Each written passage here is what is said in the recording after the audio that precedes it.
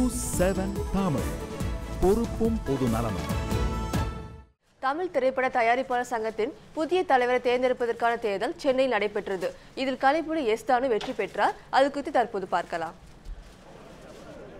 தயாரிப்பாளர் சங்க தலைவருக்கான தேர்தல் அண்ணா நகரில் உள்ள கந்தசாமி கல்லூரியில் காலை எட்டு மணிக்கு தொடங்கி மதியம் மூன்று மணி வரை நடைபெற்றது. இதில் ஐந்து பேர் போட்டியிட்டனர். Kalaipuli S Thanu A L Alagappan Henry Mansoor Alikhan கெட்டப்பி Rajendran ஆகியோரிடையே தலைவர் பதவியை கைப்பற்றுவதற்கான போட்டி நிலவியது. இது வந்து ஒரு அமைப்பு. அமைப்பு ஒரு சங்கம் சொன்னால் சர்வீஸ் ஓரியன்ட் ஆர்கனைசேஷன். யார் வந்தாலும் உறுப்பினர்களுக்கு நல்லது பண்ணணும். எங்களை பொறுத்தவரையிலும் வந்து இந்த தேர்தல் வரலாம் தான் அணிகள் இதெல்லாம் பிரிவுகள் இருக்கும்.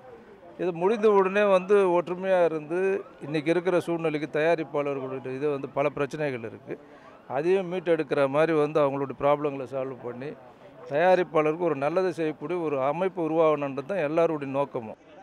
அமைதியான முறையில் நடைபெற்ற இந்த தேர்தலில் தமிழ் திரைப்பட தயாரிப்பாளர்கள் அனைவரும் ஒன்று திரண்டு தனக்கு விருப்பமான தலைவரை தேர்வு செய்வதற்கான வாக்கை பதிவு செய்தனர்.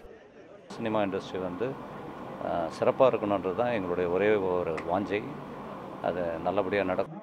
புதிய தலைவராக தேர்ந்தெடுக்கப்பட்டவர் சங்கத்தின் வளர்ச்சிக்கும் தயாரிப்பாளர்களின் கோரிக்கைகளுக்கும் பங்காற்றுவார் என்று எதிர்பார்ப்பு எழுந்துள்ளது.